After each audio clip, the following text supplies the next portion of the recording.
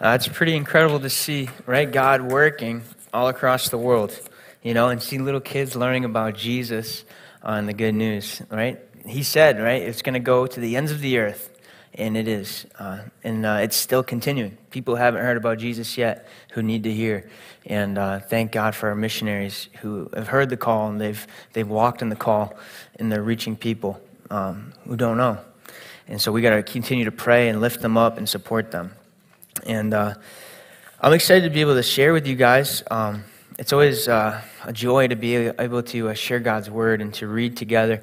And uh, I just felt like uh, actually changed my message, and I, am really, I, uh, I feel so blessed. Like this was a word that I needed to hear this week and this season, and I think as well as our church. And it's nothing new. Um, it's living in the Spirit is, is my title, and, and this, this idea of really having the power of the Holy Spirit in our everyday lives. And uh, I, I just feel it's a word for us. It's a word for me, for sure. And we're going to be in Acts chapter 2 as well as Galatians chapter 5. And the verses for Acts is going to be, uh, if you're going to jump there, is um, 2, 1 through 13. We're going to go there first, and then we'll go to Galatians 5, um, 16 through 25. And uh, as I was thinking about this idea of being empowered by the Spirit, living with the Spirit, um, walking by the Spirit, I, I, was I was thinking of this uh, this time me and my brother when I was just started driving. We were driving across um, Fairhaven Bridge. We went across the bridge, and you know how once you get in New Bedford, if you keep going straight, you go up this little hill and it hits a stop sign, or uh, I mean a stoplight. And uh, every time, I'm never hitting a green light there. You got to stop. And so one time, uh, it was the, it was winter, dead of winter, and I was driving this my first uh, tr- my first car. I had this awesome little pickup truck. Uh, it was actually Pastor Joe's before it was mine, and um, it was two wheel drive, and I never put any weight in the back. And so, so me and my brother were driving, dead of winter, snows on the ground. Right? I think it was snowing at the time, and it started to get compact, even turning into ice. And so we started to go up this up this uh, hill, and I'm like, please, please, red, please be green, please be green. And it's red. It was red. So we get we get to the hill. I have to hit the brakes, and now I'm like, okay, and it was a stick shift too. And I just remind you, I just started driving. So it's like maybe two, three months in. So I got my foot on the clutch. I'm waiting. I'm revving the engine. I'm ready to go. Right. And and as soon as um as soon as it turned green, I'm like, okay. I jump off the clutch, hit the gas, and uh, we start to turn, but my wheels start spinning and there's tons of cars behind me, tons. So my wheels start spinning. I'm like, oh no. And not only did they start spinning, but as the wheels were turning, the, the truck started to go, roll backwards, right? So now we're, go, we're coming down the hill, cars behind me. I'm gunning the gas. That's not what you do. But my, uh, my brother, my, I'm like, Freddie, you gotta hop out, dude. Yeah, you gotta hop out. I need you to push, push this truck up the hill, right? And my brother's strong, man. Thank God for my brother. My brother's strong and a big football player. And he, he jumps out, right? And uh, lines of cars behind us. And only person in front of them is my brother pushing a truck up a hill, right? Only hope they have. And uh, so I'm hitting the gas, and Freddie is walking this truck up the hill, right? And he pushed me all the way to the top, and then he ran around, jumped in the car, and we, and we, and we kept going. And I was thinking how there's no way I would have got up that hill by myself, right? And there's moments in life, many moments, probably moments we don't even realize I could never get through on my own. There's no way in my own strength, under my own foot, that I would be able to push this car up a hill. There's no way I'm going to be able to do what I need in my family, in my church, in my home, in my school, on my job, in my own heart, in my own mind. I'm never going to be able to do what I need to do on my own. I need help. I need help. And I think uh, it's always been the plan of God that His presence would be our help. And so we're going to jump into Acts chapter 2. And where did it begin? Where, where, where did it begin where the Holy Spirit entered into the scene? Well, it began all the way in creation. And, and we saw, uh, we saw how, how uh, he, cre- he helped create the, the earth right? He was hovering over the waters. But, but when did it begin that people were empowered by the Spirit to live? That, that they had the presence of God in their every day and, and they, could, they could walk with Him and be strengthened. Well, if this was a, a, a, a superhero movie, Acts chapter 2 is the origin story for how the church got its power, for how the church uh, uh, was able to begin the, this new beginning. And, and so, when we look at Acts chapter 2, Jesus has died, he has risen, he has met with the, with the, the disciples and the, and the other followers, and, and the 500 had seen him, and he ascended into heaven. And the disciples were probably wondering, now what? It's just us. But they remembered Jesus' words. He said, he said, wait until you're filled with power. Told them, don't do anything until you're filled with power, and then you'll be my witnesses in Jerusalem and Judea and to Samaria and to the ends of the earth. And so they knew they had to wait and they had to pray. And so here they are, they're praying in Jerusalem, seeking God's help, and it had been days. And this is what happens Acts chapter 2. It says, When the day of Pentecost arrived, they were all together in one place, and suddenly there came from heaven a sound like a mighty rushing wind, and it filled the entire house where they were sitting. And divided tongues as of fire appeared to them and rested on each one of them. And they were all filled with the Holy Spirit and began to speak in other tongues as the Spirit gave them utterance. Now there were dwelling in Jerusalem Jews, devout men from every nation under heaven, and at the sound of the multitude, and as the sound of the multitude came together, and they were bewildered because each one was hearing them speak in his own language. And they were amazed and astonished, saying, Are not all these who are speaking Galileans? And how is it that we hear each of us in our own native tongue, Parthians, Medes, and Elamites? Residents of Mesopotamia, Judea, Cappadocia, Pontus, and Asia, Phrygia, and Pamphylia, Egypt, and the parts of Libya beyond to Cyrene, and visitors from Rome, both Jews and proselytes, Cretans and Arabians. We hear them telling in our own tongues the mighty works of God. And all were amazed and perplexed, saying to one another, What does this mean? But others, mocking, said, They are filled with new wine. In Acts chapter 2, we see the beginning of the church empowered by the Spirit. We see the followers of Jesus become what he had destined them to be. They were no longer just uh, uh, uh, bewildered followers. Jesus, why are you going to do that? Lord, we can't do this. Now they were going to move from, from those who were, were on the sidelines to those that Jesus was going to use in his place. And we see what, what is happening. How do we understand this? I see fire. I mean, what's going on with the wind and, and these different languages? And I think what's happening is God is using Old Testament imagery to reveal to us what is really the truth in this, in this moment of history and now in this passage. And, and when we look to the Old Testament, what we see is that fire was always a symbol that God used of his presence. We see that when, when Moses, when, when he was wandering through the wilderness, leading his sheep, he, he came to probably a cave, and inside the cave, a voice came out. And, and when he peered inside, there was a bush that was on fire, but it wasn't consumed. And God spoke from the fire, the fire uh, representing the presence of God.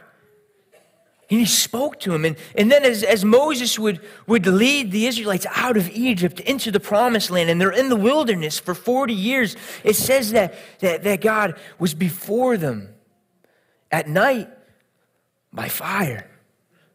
And when, and when they, they came um, to Sinai and they began to build the tabernacle, and, and, and the, it was to be the dwelling place of God amongst the Israelites and really amongst the world as they're building this tabernacle and they finish, it says that fire came down from heaven, rushing into the tabernacle, filled it. And as Solomon finished his temple, hundreds of years later, as they dedicated it, fire from heaven came like a rushing wind, filling the temple, representing that the presence of God was dwelling with them. Fire has always been a, a representation of God's presence. And as, and as these followers of Jesus, scared, uncertain, but trusting and searching, for the move of God in their lives. The next step, it says that as they were praying, fire came down, right? These tongues of fire rested over them, and in the wind, the sound of a rushing wind filled the room. Telling us that now the presence of God no longer dwells in, in a temple, in a building, but it dwells within the believers as individuals and as a community. They had become the dwelling place of God. That word that we see in this passage for wind, as a rushing wind in, in, the, in the Old Testament, but the Greek translation that Jesus probably would have read, as well as the disciples, that same word that's used for the wind in this passage is the word used for God's breath when he breathed into Adam. God is breathing his presence, he's, he, he's filling these believers with his spirit. God has rested on earth amongst his people. We have become the temple of God. And then they began to speak in different languages. In, in these, they were speaking in different languages, not to speak in other languages, but people from all these different nations were, were there in Jerusalem for this special feast. And they, what they were hearing was probably the gospel and, and the, the glory of God in, in Christ as the disciples were filled with the Spirit, and it, what it makes me think of, and many scholars believe, is it's the, it's the fulfillment of the Tower of Babel. When, when, when humanity chose to forget God and make a name for themselves and, and do it their own way, God had to split them up because they could no longer be his people.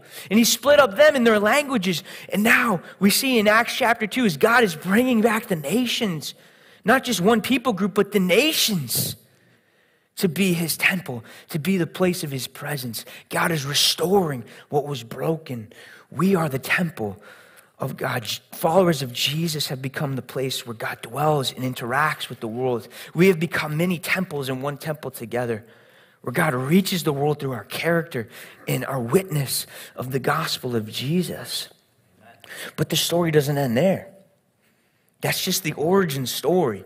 It continues. And, and what we see is the, the beginnings of the church and the, the troubles of the church. And, and we're going to look in Galatians chapter 5 as, as Paul the Apostle is going to speak about the Spirit's relevance and his move and his need in the lives of believers. All right, so we're going to jump to Acts, I'm sorry, Galatians chapter 5.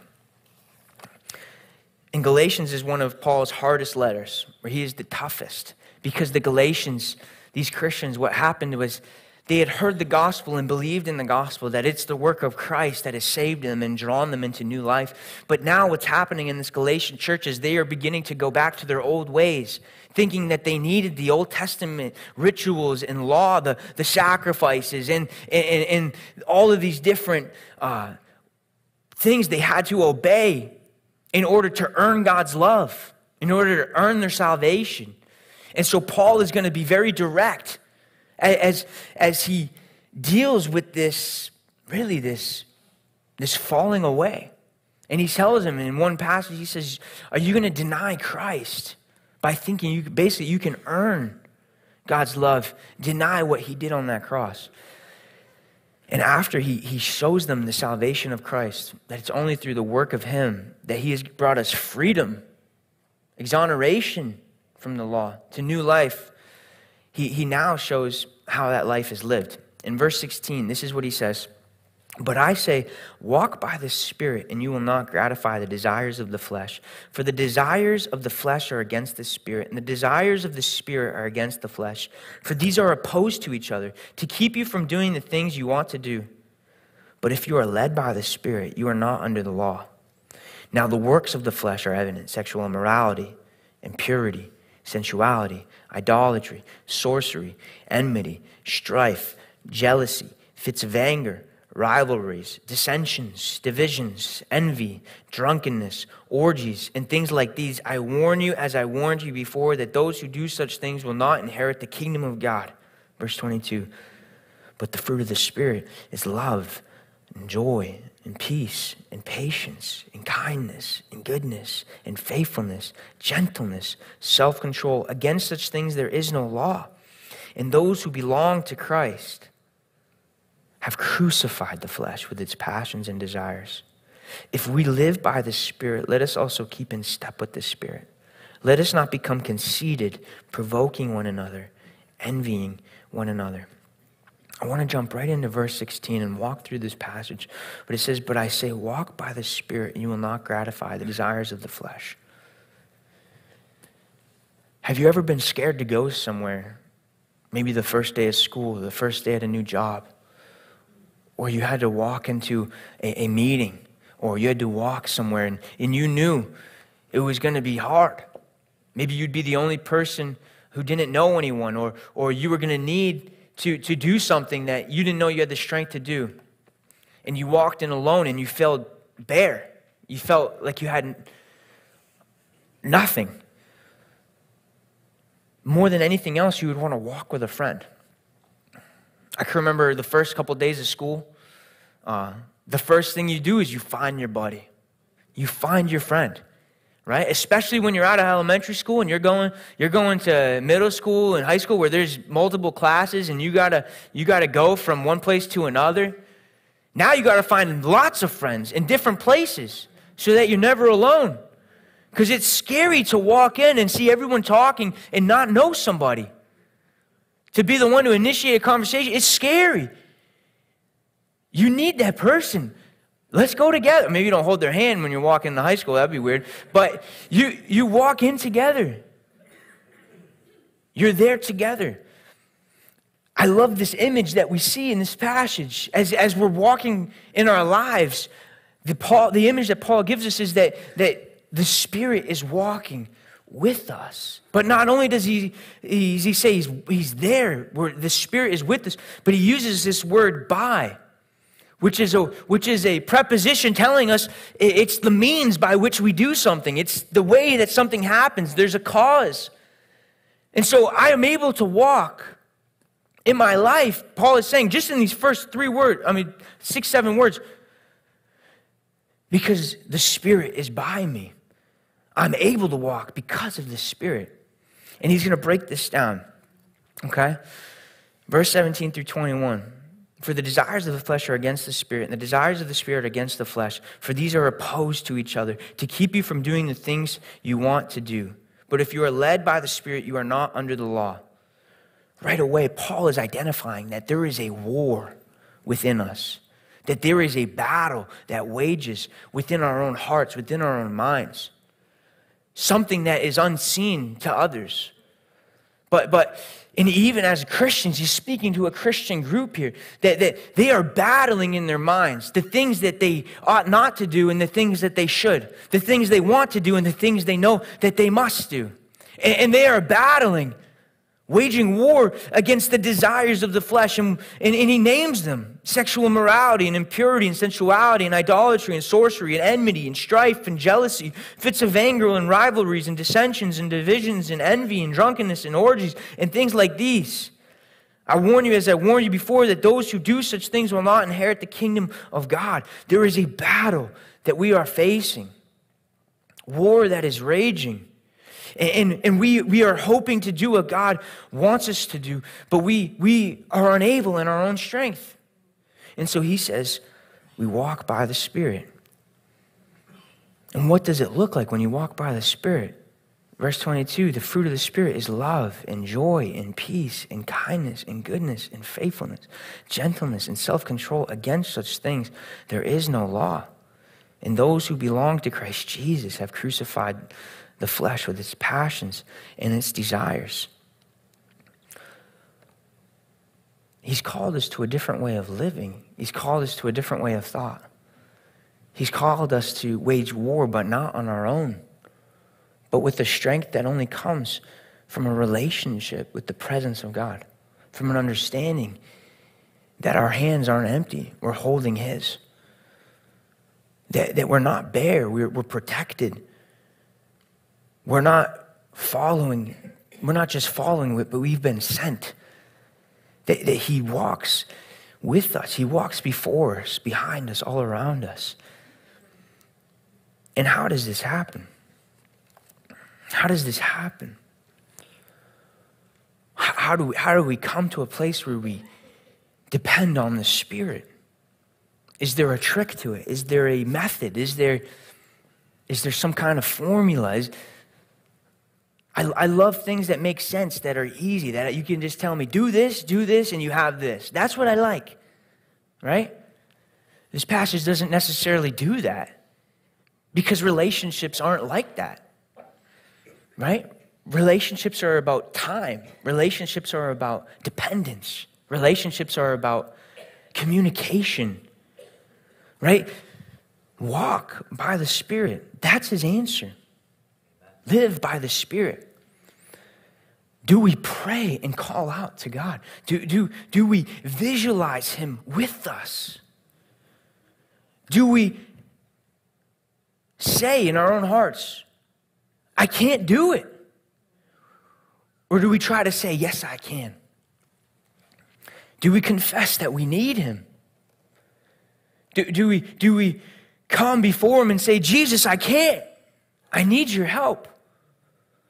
Do we make our own plans or do we rely on Him for His?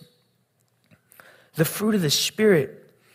It's not just something that we do, but it's the result of something that's been done, right? It's the fruit of the Spirit. It's, think of fruit on a tree, right? The fruit of the tree is the product of a healthy tree, right? The fruit of our hearts is the product of what's in our hearts. And when we have the fruit of the spirits, it's because the, we, we are in tune and we are in relationship with the Spirit. We, we, we are depending on Him, we're visualizing Him, we're, we're calling out to Him. And we're beginning to do this right here, what He says when you belong to Christ, you crucify the flesh with its passions and desires. If you, if you want the fruit of the Spirit, you have to give something else up, right? The fruit really of the, of the flesh. And the only way really to, to do this is, is, is to not lock these things in, in the back of our minds, right? It's very easy to, to say, I'm just not going to do that anymore, even though I, I actually do want to, right? I'm not, I'm not going to do that more, but man, if nobody was around, that's what I want to do. If Jesus, I know, I know I'm trying to follow you, but I think that, man, that would have been so much better. No, no, look at the language that he uses. He says, crucify the desires of the flesh. Right? He's not saying lock them up behind your mind. Right? He's not saying, he's not saying just shove them to the side. He's using the most violent language he can. And think about it. He's telling you to not do all these bad things, right? And then he tells you to do all these amazing things that are great for other people, which is really uh, wrapped up in just loving others, right? And, and then he tells you to do this. Here's one more command that he gives crucify. He doesn't get more violent than crucify. But he's saying in our outward lives to others, we, we love, we are patient, we are joyful, we are kind, we are gentle, we are self controlled. But, but with the evil that's pushing war within us, we, we become violent and we crucify the desires of the flesh. We don't say, oh, man, I wish I could do that, but I'm not going to. No, we say, I hate that. I hate that evil. I hate what it's done to my family. I hate what it's done to my thoughts. I hate what it's done to my friends. I, I hate what it's done to my future. I, I crucify that. I'm killing that. That is going to die. Because I don't walk with that anymore. I walk with the Spirit. Because I've become the temple of God's presence because he resides within me. And I love this verse, verse 25 and 26. If we live by the Spirit, if the Spirit is in us and we are depending on Him, we're, we're speaking to Him and praying to Him, he, we're calling out to Him, let us also keep in step with the Spirit.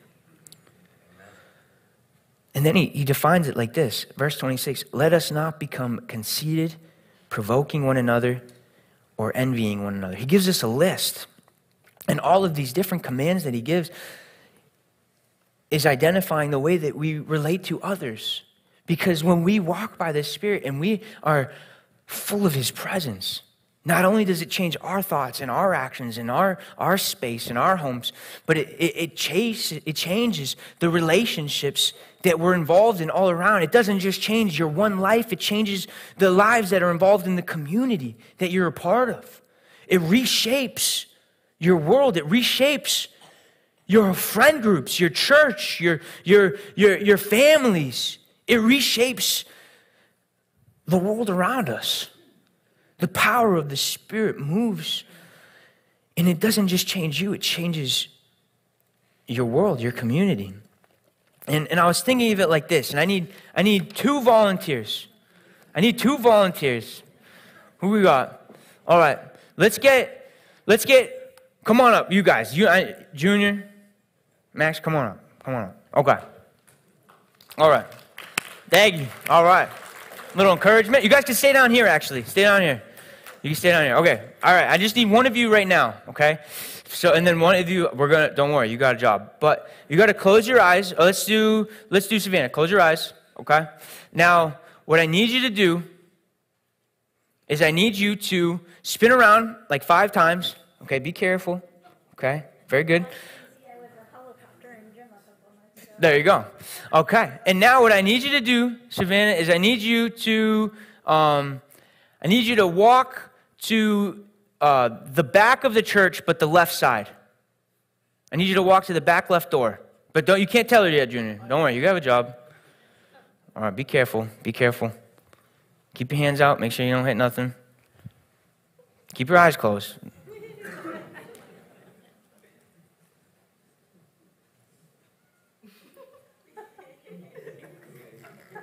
Okay, okay, okay. All right, Savannah, that's perfect. That's perfect. Okay, thank you, thank you. It's troubled when you when you when your eyes are closed. You can't get where you need to be, right? You can open your eyes right now. Thank you.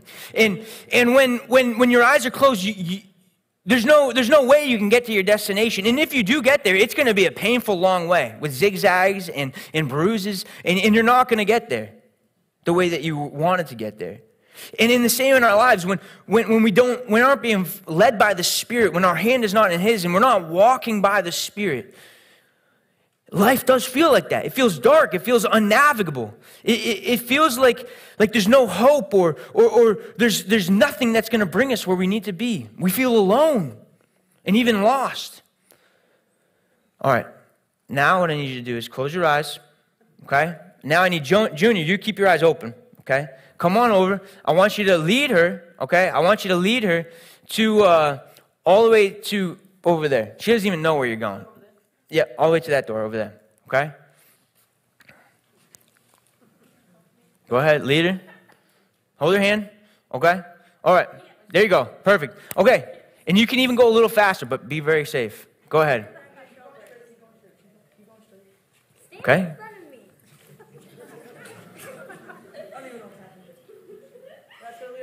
Yeah, yeah. Keep going, keep going, keep going, keep going.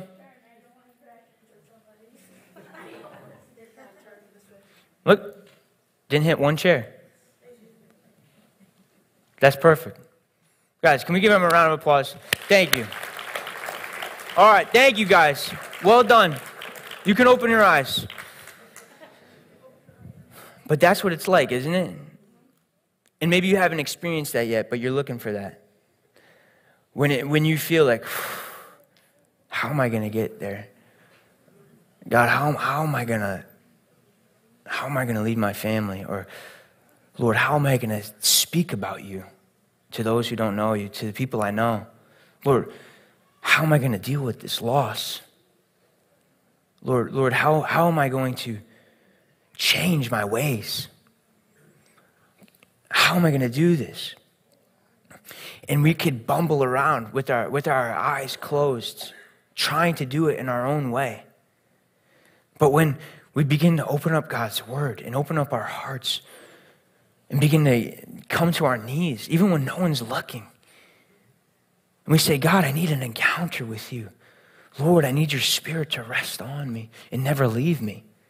Lord, I need your, I need your voice to speak and compel my heart.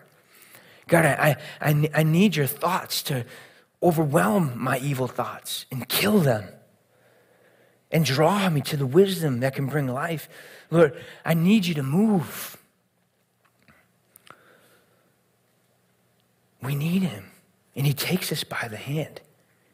And he leads us if we allow him. Jesus said, if you ask for the Holy Spirit, just as a good father is willing to give a good gift, how much more is your heavenly Father willing to give you the Holy Spirit? And he's not like a sixth sense, like he's not like a like we mentioned, like a, a origin story of a hero movie. The difference is that he's not just some kind of superpower, right? He's a person. He's really our superhero. He's the one who, who walks with us and leads us, empowers us, speaks through us. In youth group, I've just been witnessing some kids just grow to know Jesus and really put their trust in him like I've never seen before. I've seen, I've really been seeing a move of God um, in their lives that nobody could do on their own. It could only be done by Jesus. And, and one, one of the guys sticks out to my mind the most uh, right now in this moment. And I've seen him go from years ago just being a little interested and maybe coming here and, and not really even expecting something to happen to now having an encounter with Jesus. And his whole life has changed. His whole mind set has changed. His, his hobbies have even changed. His friends have changed. He, he, he's, his thoughts and his motivations, even the goals of his life have changed. The way I've seen him deal with, with hardship has changed. I, have seen him come and he, he comes and he prays for me. He, he comes and, and, and he brings people to tell them about Jesus. He comes and he prays over kids at the altar. Why? Because he's had an encounter with Jesus and he's been filled with his spirit. And he doesn't live in the past just remembering a moment of when God moved. He, he lives in the everyday as he's listening with open ears for God's voice to speak, not even totally sure how it all happens yet. Saying, God, I just want to serve you. God, I just want to, I just want to walk with you. God, I just want to know with you. And I think that this is also happening in our church, and it's a product of the Holy Spirit. It's not a product of any one person. If we are growing in our love for God and our love for people, if, if we're growing in, in, a, in a love to serve and to, to know Him and a, a desire to follow Him, that, that's the evidence of God in our lives. That's the evidence that the Spirit is moving. A year ago, I'm sure there were some of you here today who didn't even believe in Jesus. And now you might, you love Him, you follow Him. I'm sure of it that there are some here today who, who maybe didn't know if they could continue forward with Jesus. And there are here today people who have experienced the redemption in, in, in, the, in the love of God that walks with them and moves them forward. I'm sure there are here today people who've experienced loss and tragedy they, they thought God could not meet them in. And today, you know that He has met you and He has walked with you and He does care for you and He does speak with you and He has given you His presence.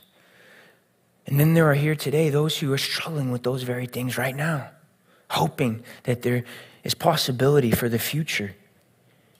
And I can tell you there is, not because of any one person or just because of there's a building on this property. No,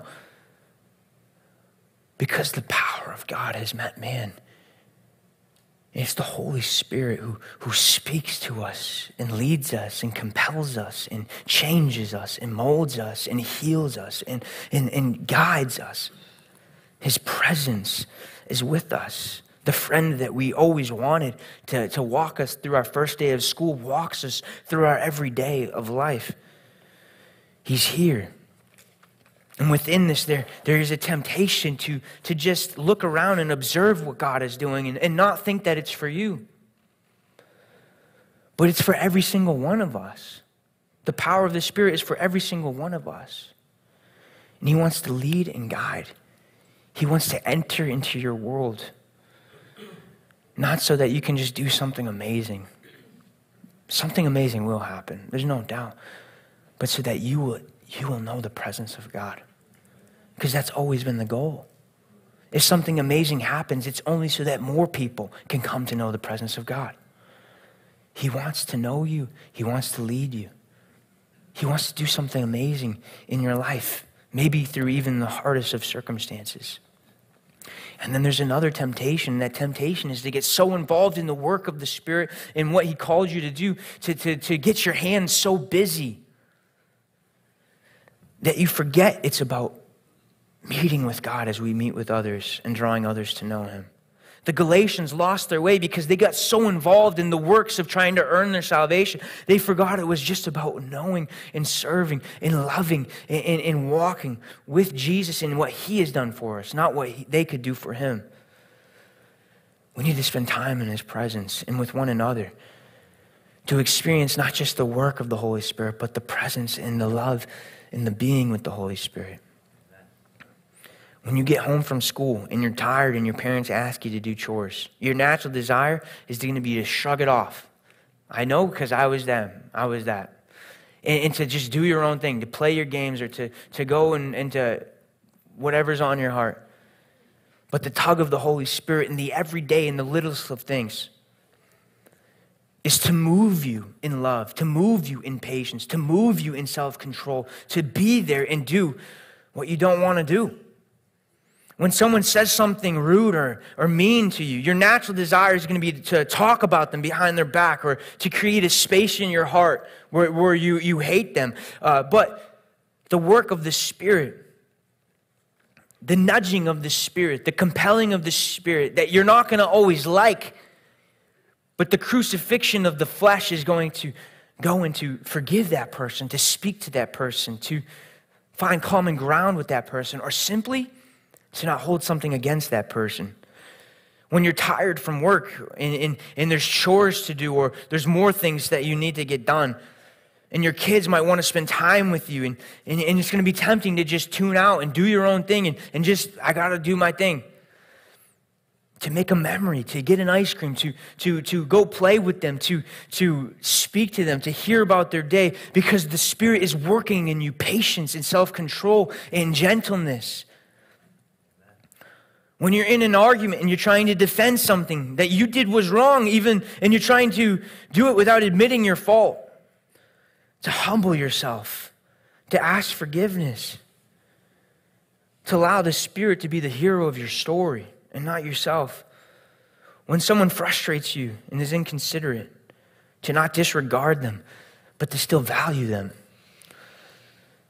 When you feel overwhelmed and lost, and the Spirit begins to bring peace and patience and faithfulness because He walks with you and He guides you through seasons of brokenness. It's impossible. We can't do it. And I'm just going to invite the worship team up. We need the move of His Spirit. We need Him in our everyday because we can't take a step forward unless He steps with us. I want to see love and I want to see joy. And I want to see patience and faithfulness and goodness and gentleness and self control. But those things don't happen unless I come and I say, God, I want freedom. Freedom from trying to do things myself, freedom from trying to follow just rules, freedom from trying to make my own way. I want freedom that's only found in trusting in the work of Jesus that He did what I could not do and that he did it in my place so he could promise me his presence.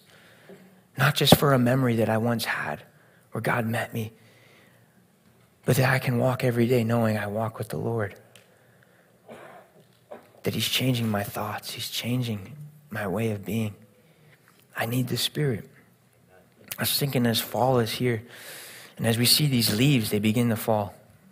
All summer, those branches held to them so strong through storms, right? Different places where there's hurricanes, through hurricanes, through, through all of these different things, these leaves hold. They hold to, to, these, to these branches.